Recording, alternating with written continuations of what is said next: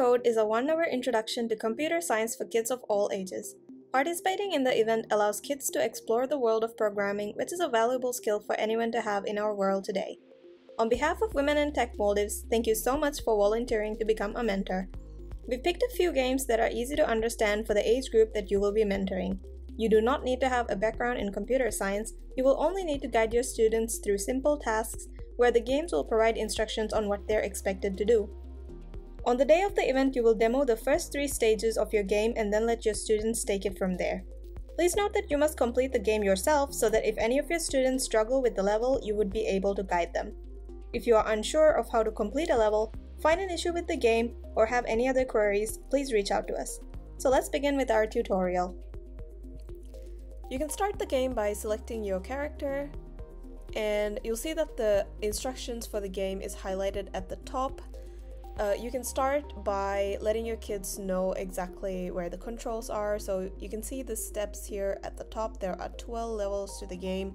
Each stage will have instructions here at the top, and that is the objective of that level. The game will be on the left side, and that is where you can see the character and other objects, such as uh, the first level has a chest, and you can see your character and the chest. And the run button below that is where you would run your solution. You can create your solution using the blocks that are available to you in the middle section here, and then your workspace is to the right. You'll be creating your solution by dragging the blocks into the workspace, and when you see that highlight, uh, you know that you're able to connect them together. It will not work if the solution is not connected. And if you need to delete a block, you can just drag them back into the blocks there. You can explain the very first three levels of the game and then let the kids take it from there.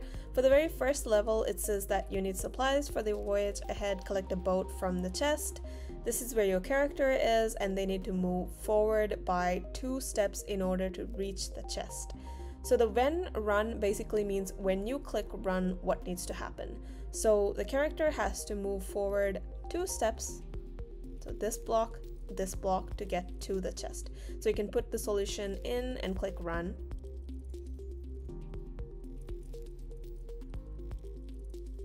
And now we've completed the first level, we can click continue. And now it says boats are easier than swimming in open water, head to the end of the dock to hop aboard. So now we can see that the character is able to move forward, but we also are able to turn them into uh, turn them in a direction. So we want to make the character move forward, but then turn right, and then move forward twice to get to the boat.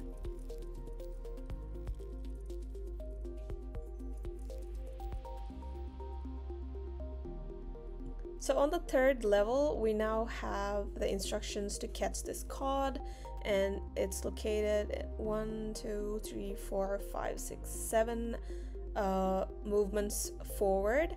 And so we're going to put those seven in and as the stages go, they will keep increasing in complexity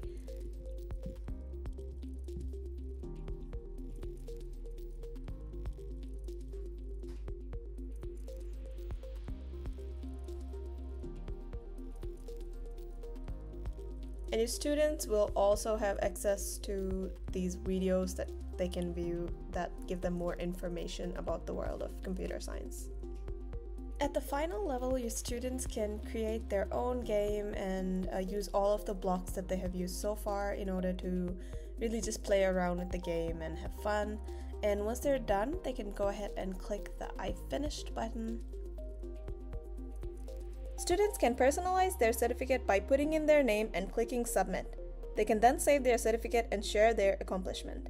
At this point, if they have more time, they can go on to the next activity, or if this is the end of their session, you can ask them if they enjoyed it, what they liked best, and to share their creations with the rest of the class so that you can all take a look at the unique solutions developed by each student. Thanks again for taking time out to help students discover the magic of programming. This helps to broaden participation in the field of computer science. We hope you enjoyed the event as much as your students, and we hope to see you again next year.